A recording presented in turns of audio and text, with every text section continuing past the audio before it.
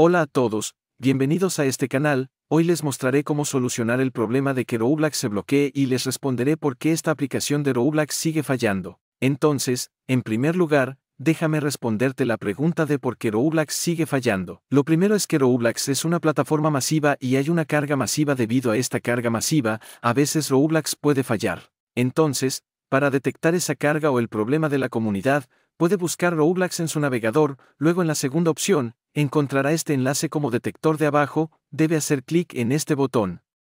Ahora puede ver un gráfico aquí donde puede ver la lista o la cantidad de informes enviados a Roblox si hay un pico en este gráfico que significa que la comunidad principal se enfrenta a algún problema, por lo que está recibiendo una gran carga y es por eso que Roblox se está bloqueando y otra cosa que puede suceder es que su aplicación de Roblox tenga un caché masivo o datos residuales para los que tiene para ir a la opción de configuración, debe encontrar para Roblox, vaya a esa aplicación en particular, ahora debe ir a la opción de almacenamiento y caché, después de eso, solo debe borrar el caché, pero con suerte, Roblox ya no se bloqueará, así que eso es todo sobre la razón por la que se bloquea Roblox, así como la solución para ese bloqueo, así que si este tutorial te ayudó, te gusta este video y no olvides suscribirte a mi canal nos vemos en la próxima.